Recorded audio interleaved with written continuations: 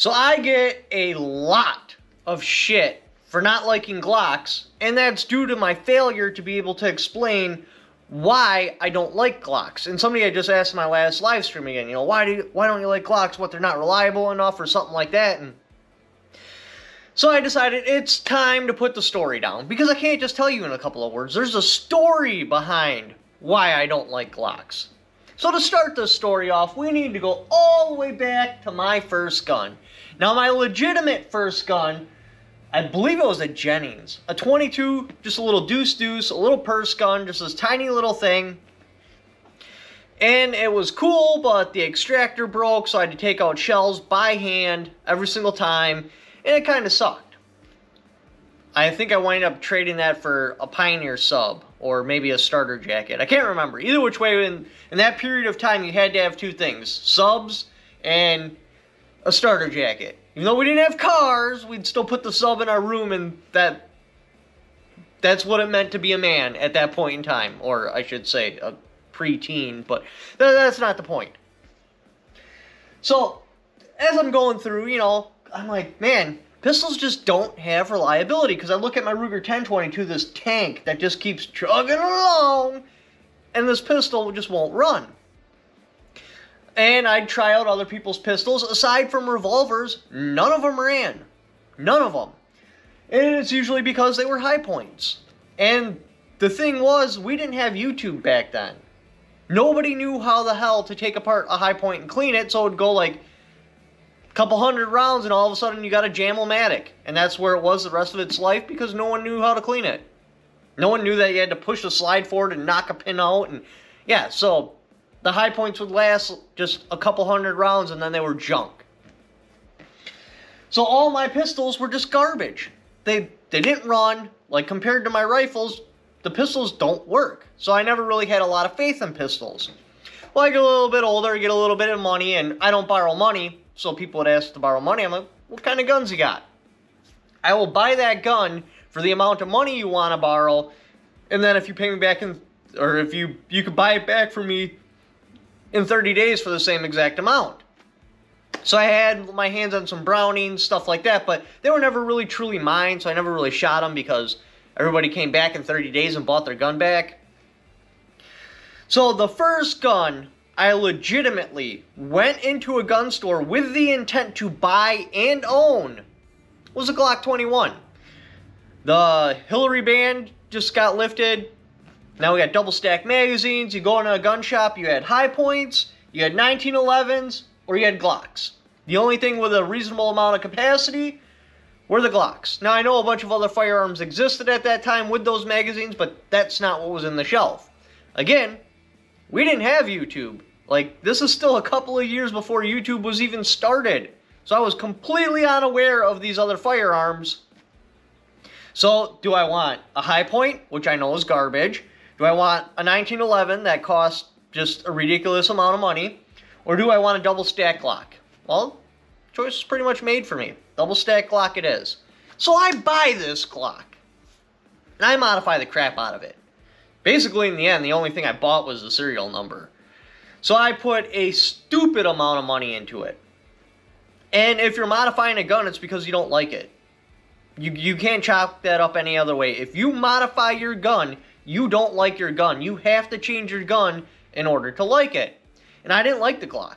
There was so much crap I had to change. I had to put on a threaded barrel, I had to change the sights, I had to put on a different trigger, I had to change the magazine capacity by putting those little extenders on there. Anyway, that firearm gets stolen. So I'm like, okay, let's look at the price. What do I have into it? That gun shop ripped me off hardcore. They soaked me like damn near 600 bucks for the thing. I mean, I shouldn't say that because Glocks are pretty high, high price, but so I got like damn near 600 bucks in the actual firearm. Then I got what another hundred and some change in the barrel. I got like 200 bucks in the sights, I think. That sounds right. So that's what uh, six, seven, eight, nine. Then the magazine adapters, I had 20 bucks a piece. Other little modifications plus the trigger, we'll call it 1200 bucks in this Glock. So I'm like, okay, instead of, you know, shopping for a Glock price and comparing what's in that network, I'm going to be shopping for a $1,200 gun. Well, this was years later, too. YouTube's big now. I'm watching all the gun channels. I'm aware of a lot of different options. So I'm looking at $1,200 guns. And there, like an angel, straight from the heavens, the FNX 45 Tactical. I'm like, wow, it's already milled out for the uh, red dot, so I wouldn't have to get a new slide. It's already got suppressor height sights on it. It's already got night sights on it. It's already got a threaded barrel. It's already got the capacity I'm looking for. And it's a double single. I like hammers on firearms. I didn't really have an opinion at the time, but they look cool. Like I always like 1911s because in the movies the bad guy would always cock the hammer like, are you sure?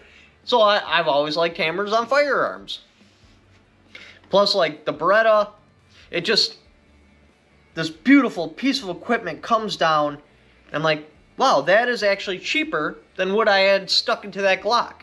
And it's everything I want. 45, double stack. Like I said, I, I went through everything. I'm like, let's buy that one. That's the one I'm going to get. So I buy that gun. I have not to this day done a single modification to it. And that's how I determine whether or not I like a gun. If I start modifying the crap out of a firearm, I don't like it. If you truly like the firearm, there's no need to modify anything. If you modify it, then you don't like the firearm. There's something about it you don't like that you have to change. Beautiful firearm. And then you get to the price of Glocks. Like at a Glock price, like the bare gun, like the standard gun, what you could get from other manufacturers, like look at the Smith & Wesson. Already has a threaded barrel. Has suppressor height sights. Capacity, 15 plus 1. Now, again, this is what, 9 mil?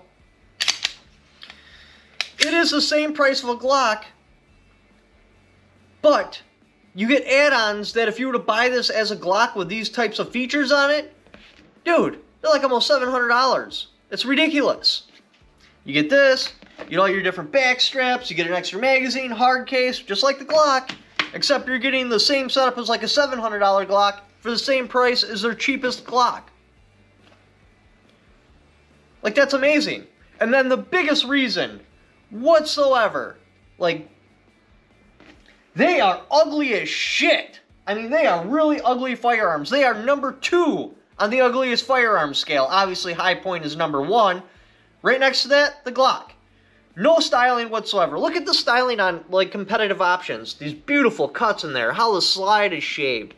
It's nice. It just, this gun flows. This looks really good. Glock, nope.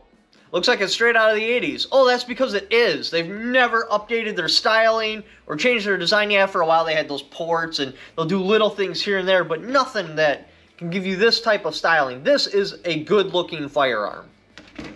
And that is the reason I don't like Glocks, because I'm not satisfied with them. And you know if you're not satisfied, because again, like I said, if you modify your firearm, you are not satisfied with your firearm. It did not satisfy you. I like a firearm I am satisfied with. I can just buy it and say yes. That is a good looking firearm. They're ugly. There's nothing you can do about that. They're completely ugly unless you completely change everything about the firearm to where you're only buying the serial number. And do you really want to buy, what, a $500, $600 serial number? No. That's ridiculous. You're paying that much on a number if you're going to change out the slide, the frame, and everything. Like, it's absurd.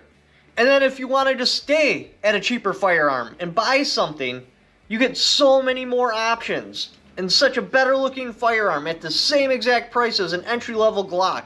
It makes no sense whatsoever to buy a Glock. And then I get their coolness factor. They're reliable. Their marketing was top notch. I mean, it involved cocaine and strippers and helicopters. Like, bad guys in movies, like how much cooler of marketing they basically did what Olight did, but they did it back in the 80s. Like that that's cool. That that really is cool. And I get on and I understand why they have such a huge following because their marketing was just above and beyond what any other firearm could bring to the table. And they've been around so long and they're in so many movies like I get the following behind it, but it's not for me. They just don't give me what I want. I'm not satisfied with the firearm. They're ugly. It just to make me satisfied with that firearm, I'd be into it for like 1200 bucks. So let's look at $1,200 firearms because that's what I need to compare it to because that's the amount of money I would put into it. $1,200 firearms compared to a Glock and you're telling me you're going to pick a Glock? No, that's just not going to happen. But that is my reason for not liking Glock. It's not like there's anything wrong with the firearm. I get all the positive attributes behind it, but it's just not for me. But anyway, thank you for watching. Like that support channel. Patreon and affiliate links like usual. And don't forget to subscribe.